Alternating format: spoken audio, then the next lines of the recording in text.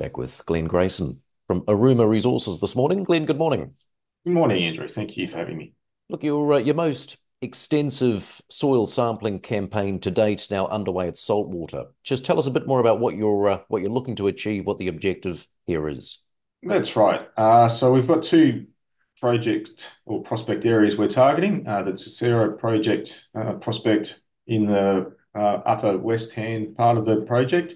That's following up um, some soil sampling we did last year that uh, had a 0.4 gram uh, gold in soil. So that's following that up. And with that, there was associated uh, arsenic and a bit of silver as well. So it was a, a good um, anomaly.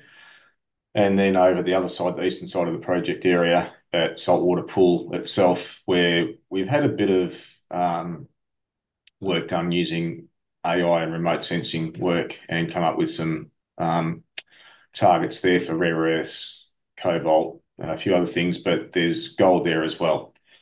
And uh, some prospecting friends recently up there uncovered a nice uh, 40 gram nugget out of the creeks up there. So we knew there was gold in the creeks, um, but up until then they'd been pretty small, sort of match head size, sort of the 0.1 to 1 gram size, stuff. But when you're pulling a, bit over an ounce out of the ground or out of the creek, it's a bit more substantial. So uh, we'll cover we'll cover the area for um, a bit closely for gold as well.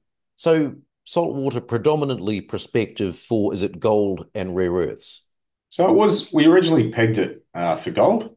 Um, there is uh, Dreadnought released a result last year that had uh, three percent antimony, um, which is often associated with with um, gold, and that have also had 12 grams gold in their sample. So um, yeah, there's a lot of there's a lot of really uh, prospective areas of saltwater that are um, got high grade gold, copper, um, rare earths, a bit of uranium in the past as well. So it's a, a it's a 450 square k package of ground that's throwing a bit of everything at us. Tell us more, Glenn, about this hyperspectral study which you're undertaking. Yes, we got Southern Geoscience to help us with that, and that was um, like I said, it's 450 square kilometers of ground. So we we got them to help us narrow down um, the area to search, and they've they've highlighted a few areas that we're covering with this soil program for um, those base metals, so cobalt, cobalt, manganese, um, copper, as well. So it's um, we'll see what the soils come up with.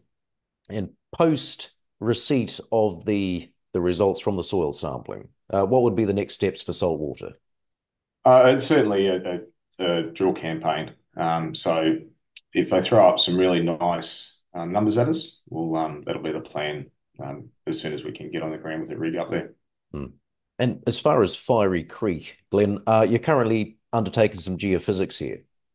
That's right. So we've got two areas we're focusing with a gravity survey, so quite a close space ground gravity survey to, to hopefully show some alteration systems um, with some dense rocks that are usually associated with a an ISA-style copper ore body. But um, the Piper project itself, we're also doing an IP survey um, in the very near future as well.